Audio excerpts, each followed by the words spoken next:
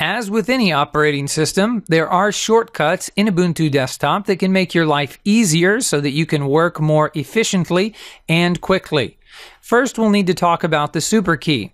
The super key is going to be the Windows key on a typical PC keyboard or the command key on an Apple keyboard. Of course, it depends on whether you're using a Windows based PC keyboard or an Apple keyboard, whether you'll have the Windows key or the command key.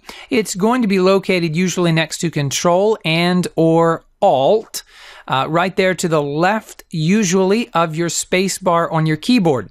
The super key is going to be used in several keyboard shortcuts that I'll show you in order to perform tasks more easily.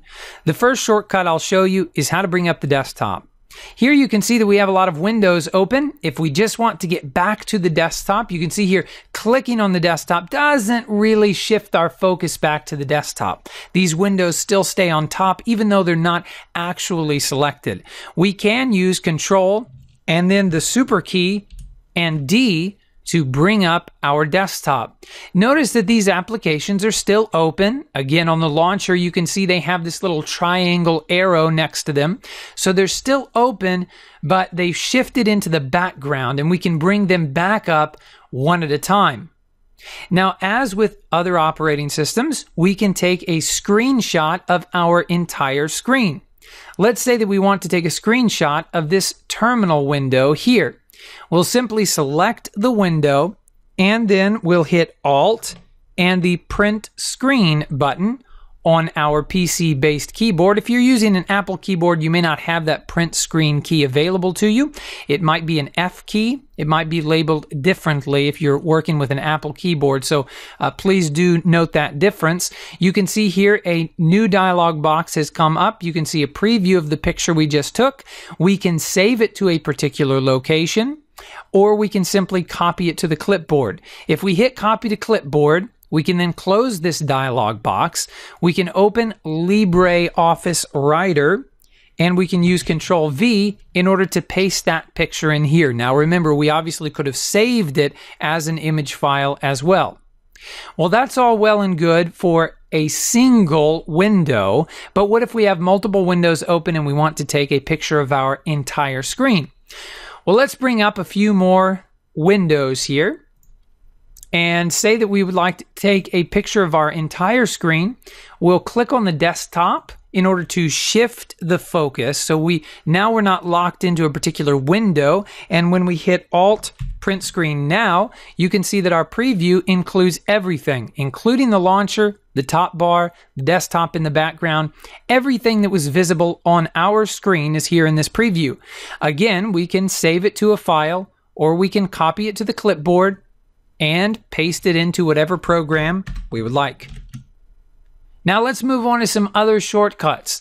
Every now and then something weird will happen where you may have a screen whose title bar has moved somehow off of the regular uh, viewing space.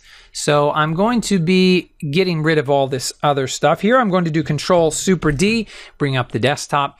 Uh, let's just experiment with the terminal window. And let's say that this somehow gets pushed off like this. Doesn't matter how it happened. Let's just say it did. Well, how would you be able to move this now? You can see I can't really get to the top bar. I can't pull it down from here. It's off my screen. Simply holding the Alt key, clicking and dragging anywhere on the window will enable me to move it. And in fact, that is how I got it up here in the first place. But there are other times that dialog boxes and other windows can be pushed off the screen, and you may be left scratching your head wondering how to get that title bar back so that you can close it, minimize it, or whatever the case may be. So remember, hold down the Alt key and you can click anywhere within that window, anywhere at all, and it will move, even if it's shifted off the screen like so. Now, as with other operating systems, Windows in particular, we can Alt Tab. So hold down Alt and hit Tab.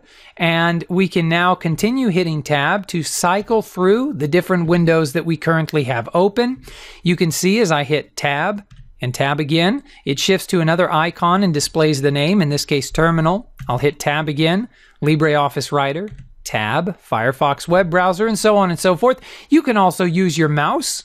That may be a bit easier. So just hold down that Alt key and hit Tab to bring up this particular box here filled with options so you can shift through the different programs that you have open.